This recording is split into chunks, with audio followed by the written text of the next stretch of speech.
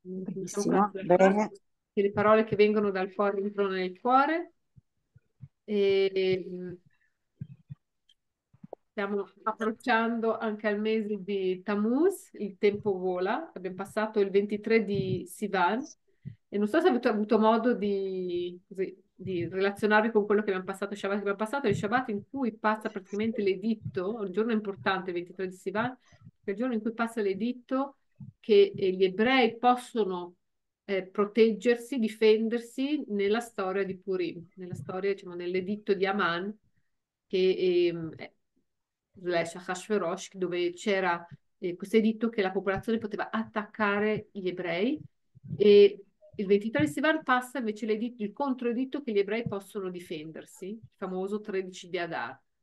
Ed è un giorno con grandissimo qua, con grande forza, e, è un momento in cui si possono anche fare delle richieste, si fanno delle richieste, Hashem accoglie le nostre richieste. Anche oggi noi preghiamo a Crossburgo che accolga la nostra richiesta di poter ricevere delle buone notizie, che si vinca questa guerra, che i, i, i soldati siano protetti e che i Hatouvim tornino a casa.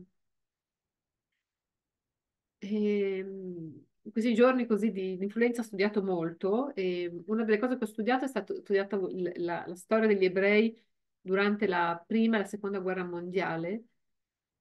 E, ehm, se pensiamo al numero di ebrei che hanno partecipato a quella guerra, che sono come nella prima guerra mondiale come soldati, non, non, non, possiamo, non possiamo, capire il numero di, eh, di sacrifici umani del popolo ebraico anche nella prima guerra mondiale in difesa dei, dei, dei, vari paesi, diciamo. E, um, oggi che siamo, abbiamo il privilegio di, di, di, di, difendere la nostra terra e di sottolineare a chi appartiene che possiamo avere tanta bracha.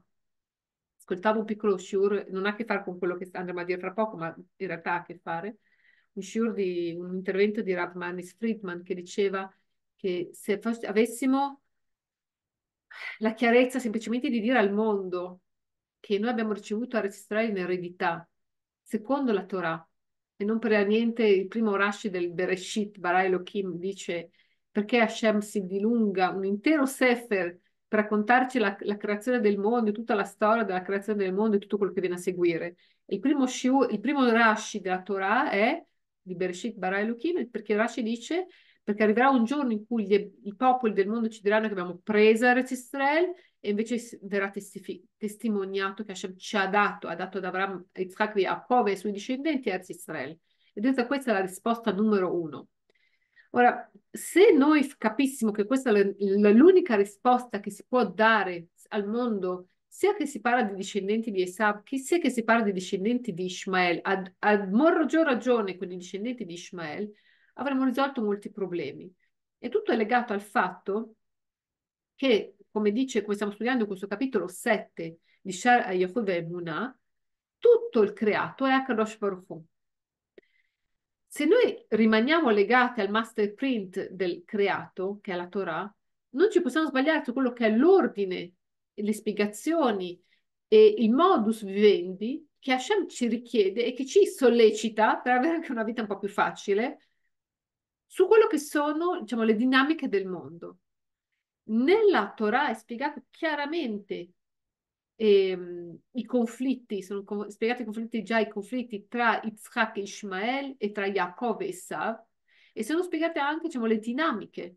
Sta a noi, popolo ebraico, riconnetterci in modo ultimativo con la Torah, perché sappiamo che la Torah con le mitzvot sono l'espressione di Hashem in questo mondo e le mitzvot sono la volontà di Hashem in questo mondo, quindi non ci, non ci si può sbagliare. Perché dico questo? Perché il, cap- il capitolo 7 sottolinea e certifica questo concetto. Non è un concetto astratto di così, lo voglio, ve lo voglio vendere perché è l'unica risposta per, per, per, che si può accettare, ma proprio perché questo fa parte della DNA della creazione e per quanto noi siamo inquinati nel nostro modo di pensare, nella nostra cultura, nella nostra visione delle cose, dal mondo in cui siamo cresciuti, il mondo occidentale, tutto quello che noi abbiamo scimmiottato dal mondo occidentale, la verità è che quanto più ci riconnettiamo con l'essenza della Torah e con il messaggio della Torah, quanto più io entro in quella che è la vera dinamica di questo mondo. Quindi riesco a, a, a, a raggiungere gli obiettivi preposti.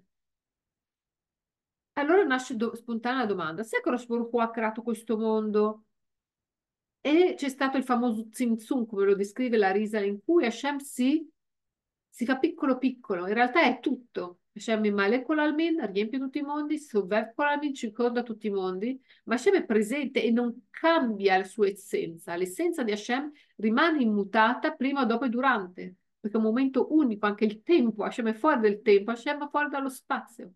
E tutto questo mondo è Akarosh Baruch Hu. Semplicemente noi non abbiamo gli occhiali o la sensibilità per capirlo, perché noi siamo creato, ma dalla parte del creatore non è cambiato assolutamente niente. Allora la sua spontanea domanda, ma perché Hu ha fatto tutto questo mondo così complesso? E soprattutto, se noi popolo ebraico siamo il popolo eletto, e quelli che abbiamo accettato la Torah e quelli che portano il messaggio divino in questo mondo e quello che portano quello che è l'unione del mondo spirituale e del mondo materiale in questo mondo, Hashem non ce la poteva fare un attimino più facile. Un attimino più facile? Dall'inizio della storia, perché sappiamo che ancora prima di Matan Torah, gli ebrei in Egitto, i fratelli, Yosef scende in Egitto, i fratelli scendono in Egitto, sappiamo che gli, che gli ivri erano considerati mondo a parte. Perché questa cosa? Perché Hashem fa sì che il processo, ancora dalla storia di Yaakov con Shem, cioè perché Hashem ha fatto questo processo in cui la vita del popolo ebraico dagli albori è così complessa. Se devo fare un lavoro, fammi fare il lavoro e va bene così. A questo punto arriviamo anche al tempo di Adam e Chava in cui si dice perché Adam e Chava hanno mangiato nove ore dopo la creazione senza sapere che cos'è lo Yetzerara, cos'è l'inclinazione al male, non lo sapevano, non sapevano cos'era la morte, non sapevano cos'erano i traumi, non sapevano cosa vuol dire una mamma, un papà, i comportamenti, miscomportamenti, eh, negazionismo, tutto, tutto, tutto non esisteva, decidono di mangiare del frutto della conoscenza del male e del bene, quindi scendere in una dimensione di mortalità dove poi comincia il lavoro e bisogna sporcarsi le mani. Perché tutto questo? E ho sentito una cosa molto bella e ha molto a che fare anche con quello che è il processo da, una, da, un punto di vista individuale, da un punto di vista collettivo come popolo, che ogni, ognuno di noi fa parte del popolo, ognuno di noi è fondamentale, ognuno di noi porta un contributo, quindi tutto quello che io sto facendo è Eureka, ci sto arrivando adesso, alla mia tenera età, ognuno di noi sta facendo lo stesso processo e tutti insieme portiamo, marciamo per quello che è ricevere la Gheura. È qualcosa che sta succedendo a livello collettivo su tutto il popolo ebraico, chi, di, chi di più, chi di meno, ma è una cosa che tutti stiamo in qualche modo raccogliendo. Fondamentalmente il concetto che, che, è la spiegazione dell'introduzione del capitolo 7 di Tania che abbiamo cominciato giovedì scorso, un capitolo molto lungo, è che un re non può governare senza un popolo. Quando Hashem ha avuto l'intenzione, adesso non posso esattamente spiegare i dettagli, ma il concetto è questo, quando Hashem ha provato il desiderio, parliamo di desiderio, di avere un popolo, un mondo che lo serve, Hashem aveva bisogno per forza di creare un mondo che sembrava indipendente, perché non c'è re senza popolo. Che cos'è un re? Un re è un, un re dove un, una figura dove, che è riconosciuta dal basso.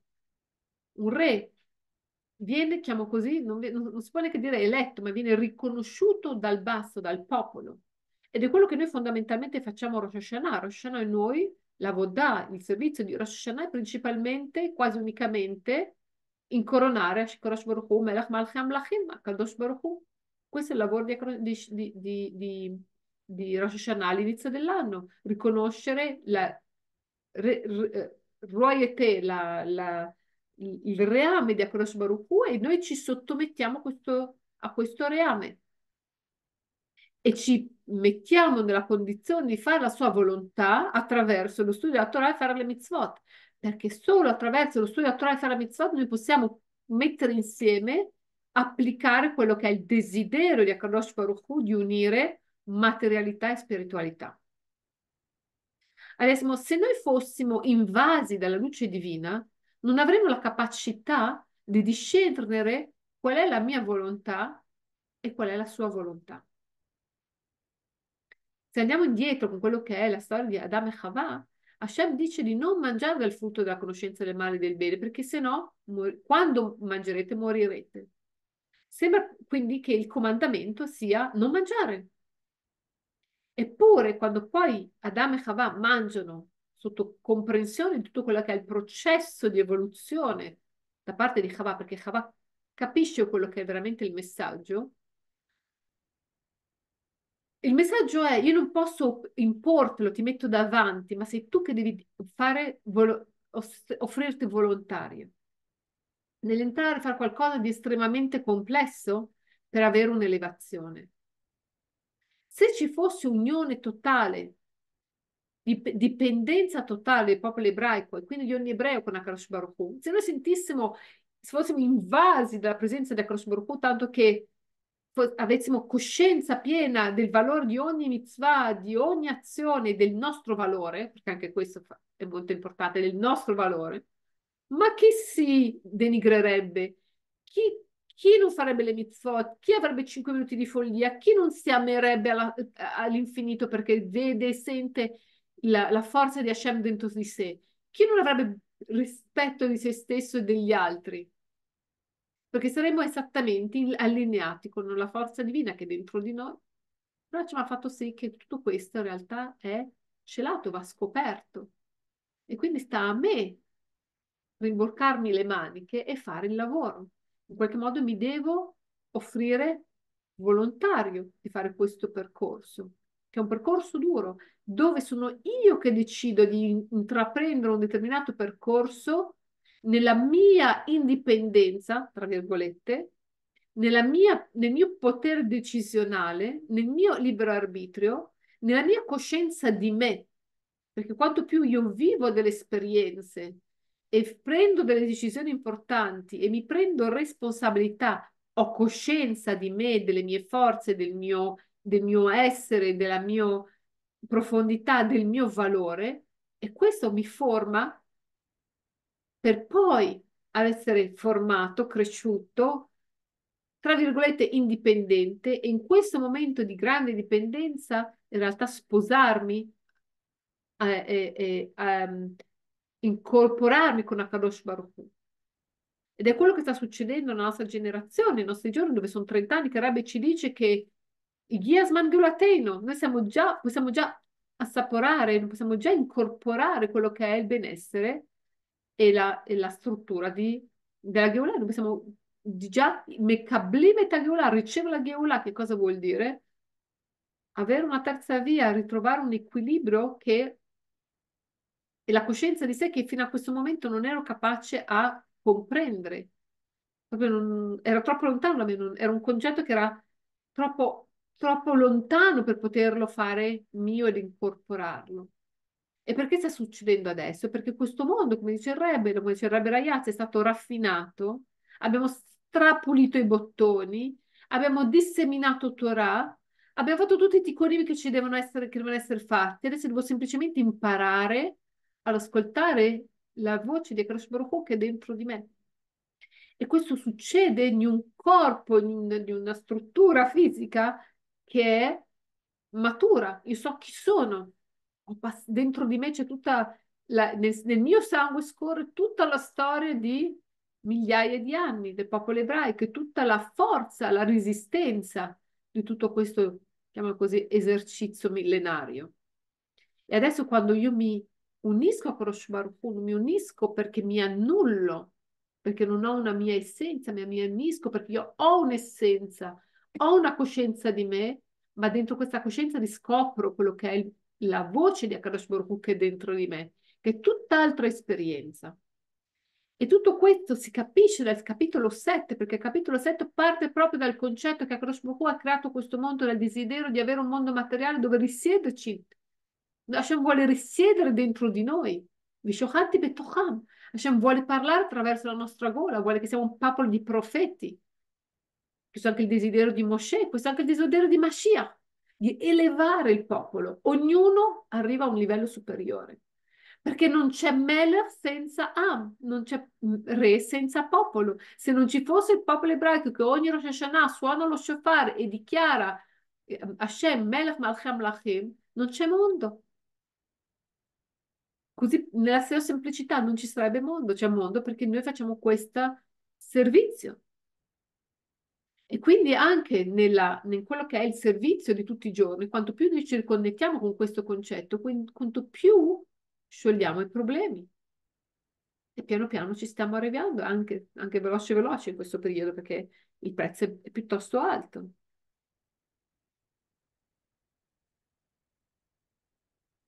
והנה במה שנתבאר יובן מה שכתוב, אני השם לא שיניתי. השם nella creazione del mondo non cambia la sua essenza. Hashem prima, Hashem adesso, Hashem dopo, è tutta la stessa cosa. Da Hashem non c'è il tempo, non c'è il passare del tempo.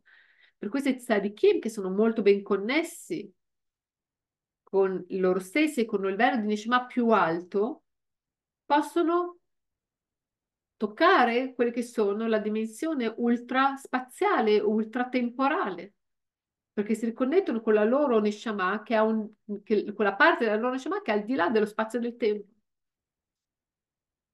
Hashem non cambia creando questo mondo, non è che Hashem ha creato questo mondo e poi adesso gioca a bridge. No, Hashem continua a, a... è tutto questo mondo. Pirush, She'en Shum Shinui Bichlal, non c'è nessun tipo di cambiamento. Moshe Ayale così come era da solo prima, prima della creazione del mondo, Yesh Me'ain, questo nulla, è tutto, קודם בריאת העולם, כך הוא לבדו אחר שנברא. Così Hashem è da solo ed è tutto dopo la creazione. Nel senso che la nostra essenza è strutturalmente valida perché Hashem ha deciso che io sono qui adesso. E quindi ogni cosa, ogni dettaglio della mia vita e ogni dettaglio anche della mia, de, del, del, mondo, dell'esistenza del popolo ebraico, tutto quello che sta attorno, in realtà l'espressione della volontà di Akash Baruch in ogni istante. Che Hashem ricrea, ricrea questo mondo tutto il tempo. Vezeo Shombrim, Ata hu achelon ivra olam, Ata u, così come è scritto, Ata hu achelon ivra olam, così sei lo stesso, così come che, quando è creato il mondo. Non c'è un cambiamento di Akadosh Baruch Per questo non ci può essere, quando si parla, perché diciamo anche tutto questo? Perché non ci può, quando noi consideriamo le forze del male, in realtà il male non ha una senza personale, siamo noi che lo energizziamo. La negatività siamo noi che la energizziamo. Nel momento in cui ci riconnettiamo con la luce della Kodesh Baruch Hu, automaticamente facciamo sciogliere la negatività. Blishum, e dobbiamo capirlo questo, perché non stiamo, ci stiamo lavorando, lo stiamo processando, ma se Dio vuole lo riusciremo a masterizzare al più presto o da ora questo concetto, perché quanto noi non diamo spazio alla negatività, quanto la negatività non ha alimentazione, sparisce, svanisce. Il buio non ha una sua essenza personale. Non c'è nessun cambiamento nella sua essenza, nella sua conoscenza. Vedi at atzmo yodea kol perché Hashem conosce nella sua intimità, in ogni dettaglio, tutto è creato. Perché tutto, Sheakolmi meno battello, bemiziutezno, perché tutto è nullificato dentro di lui. Quindi questa, qui è la partizione di Shabbat, ma era importante leggerla perché da un concetto, quindi cosa vuole? Vogliamo, vuole che facciamo lo switch dentro di noi e questo vale anche per me e vale per ognuno di noi. Lo switch dentro di noi in cui diciamo è tutto Akadosh Baruch smetto di entrare in ansia per ogni cosa, io mi riconnetto con la luce di Hashem e vivo e comincio a ascoltare quello che è la voce di Hashem dentro di me e smetto di combattere quello che io penso che sia giusto, quello che io penso, perché nasce da una razionalizzazione e smetto di ascoltarmi veramente.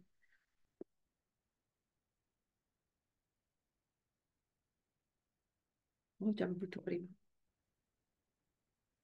Veseo Gamken Inyan Sovev Kolalmin, e questo è anche quello per il concetto che Hashem circonda tutti i mondi, c'è una forza che Mimale Kolalmin, quello che l'energia che vitalizza questo mondo, e c'è una forza che si chiama Sovev Kolalmin, che circonda questo mondo che non entra, che è legata soprattutto al nome di Havaye, che non entra nella dimensione, perché è troppo grande per entrare però nella dimensione del creato, ma Hashem che sover kolamim e Hashem che mi male kolamim, Hashem che circonda tutto o che riempie tutto, lo stesso Hashem. E quindi per questo capisco quanto è il valore della natura, del mondo materiale, dove in realtà io vedo mondo, ma in realtà Hashem.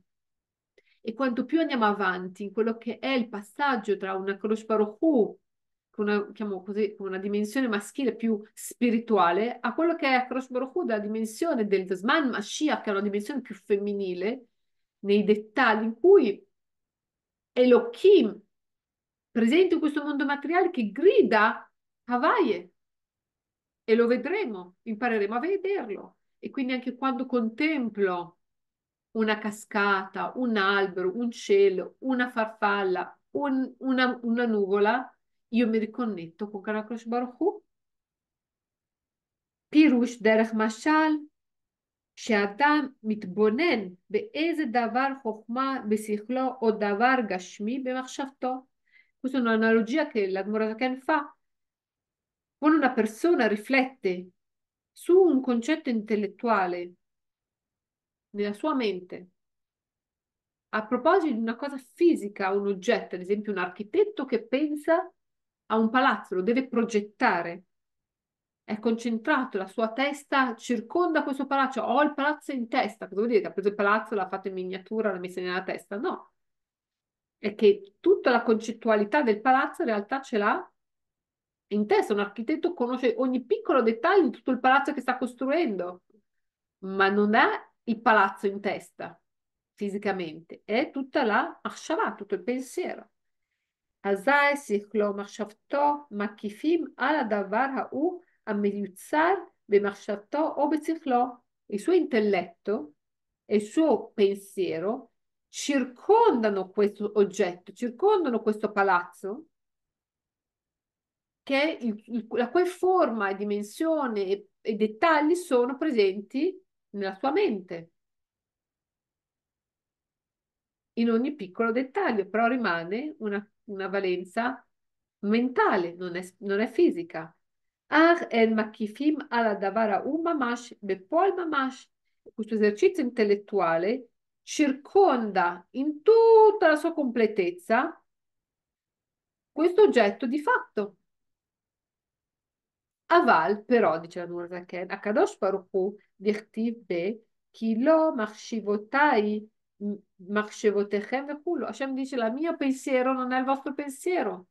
Per questo noi non possiamo dire io capisco Akadosh Baruch Hu, una persona dice io non, non seguo perché non capisco, anche noi, anch'io lo dico, Hashem, non, non capisco, non capisco, mi esco pazza, non capisco. Ma non sta a noi capire tutto. Non sta a noi capire tutto, sta a noi allinearsi quanto possibile, ogni giorno un pochettino, con tanta sincerità e tanta umiltà.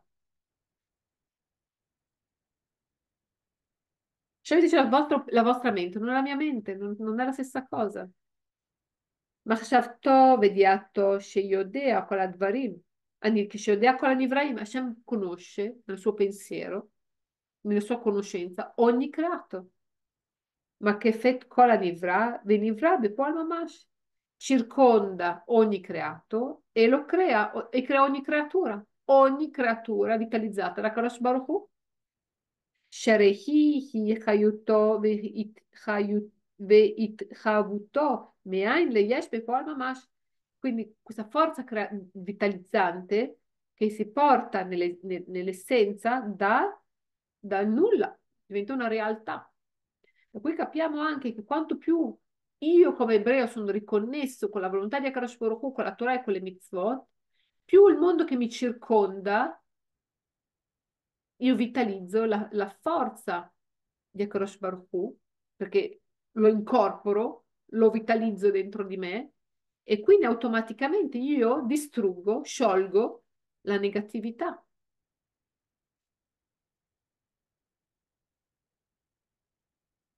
Perché ho vitalizzato la vera forza vitale che Hashem, dove vuole, Hashem vuole, io investo la mia forza. Io in quanto ebreo in realtà ho, ho la forza di vitalizzare questo mondo. Sta a me decidere dove voglio investirla questa forza.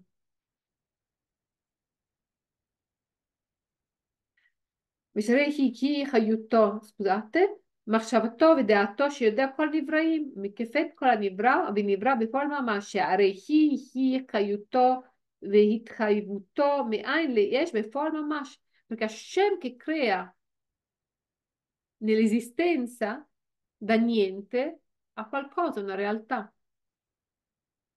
E se veramente io contemplo questo concetto, vuol dire che io ho il potere di cancellare, di sciogliere la negatività dentro di me, nella mia realtà quotidiana, e se tutti insieme lo facciamo, lo facciamo a livello mondo.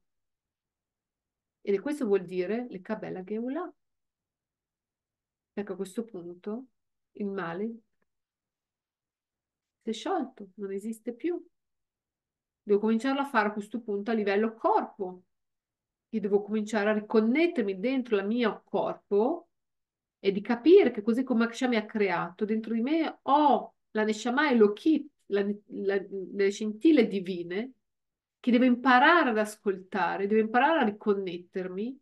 Io come Hannah Yardena formata e maturata, indi, tra virgolette, indipendentemente, che ha una sua essenza e che Mitchaber, che abbraccia la voce divina che c'è dentro di sé e che comincia a, a viaggiare così nel, nel, come un ruah, come un vento con questa voce e non più forzare la mano.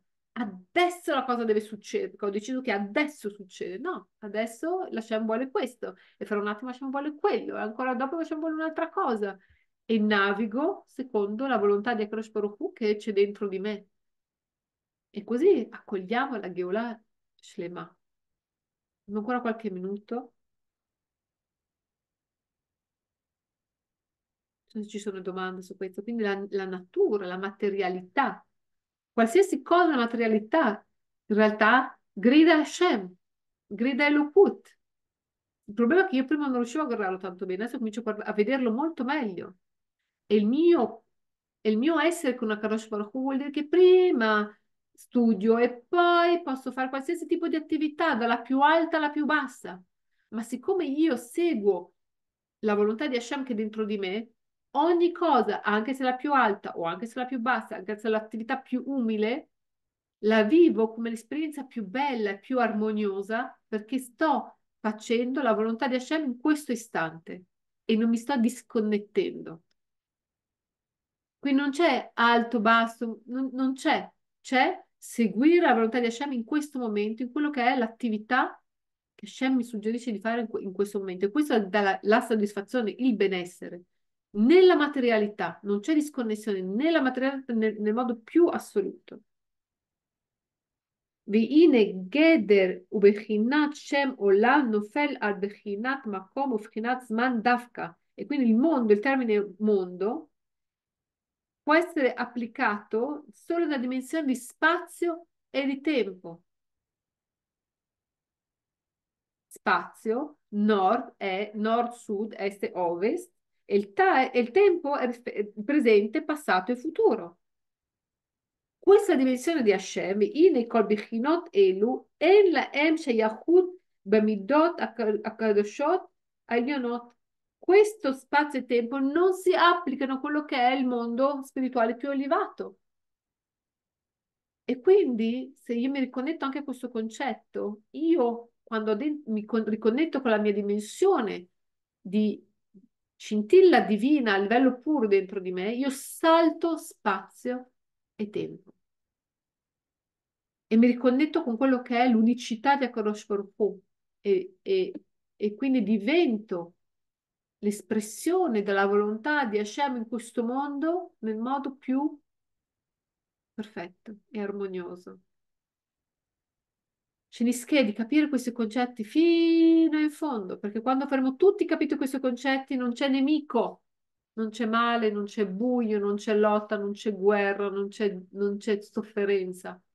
Possiamo accogliere molto presto la, la, la Geulah, ora adesso la Geulah Shlema, e di incorporare dentro di noi questi insegnamenti e di poter imparare velocemente, ascoltare Hashem che è dentro di noi, nel modo più armonioso possibile, perché ognuno di noi ha dentro di sé secoli di perfezionamento e non c'è nient'altro a perfezionare se non imparare ad ascoltarci. בעזרת טובות לעם ישראל, שכל החטופים יחזרו הביתה, וכל החיילים, che tutti i soldati e tutti gli ostaggi, che ci sia una vittoria forte del popolo ebraico, senza ingaggiarsi in altre guerre, in altri conflitti, ma perché con la nostra essenza noi sciogliamo il male e che tutto il mondo torna a fare Teshuvah così come a Ishmael è destinato a fare Teshuvah, che possa succedere ora adesso, e con l'accettazione e la, il ricevere Mashiach Zitkenu adesso nel, nella nostra semplicissima quotidianità. E capire quanto siamo importanti, quanto, siamo, quanto ognuno di noi ha un mondo intero. E ognuno di noi fa la differenza e porta armonia in questo mondo. E ogni espressione di gioia e di amore e di benessere e di ascoltarci crea benessere per tutta Amisrael e quindi anche per tutto il mondo. Dedico questo shiur a mia Morah Michal Bashmuel Chai, Besrot Tovot, per fare la sua volontà e di seguire i suoi insegnamenti, e Adina Banga Achet, Sal Bat Yosef, David Ben Yosef e Yitzhak Ben Yosef. Besrot Tovot Mamash. Vi lascio all'altro shiur. Grazie mille.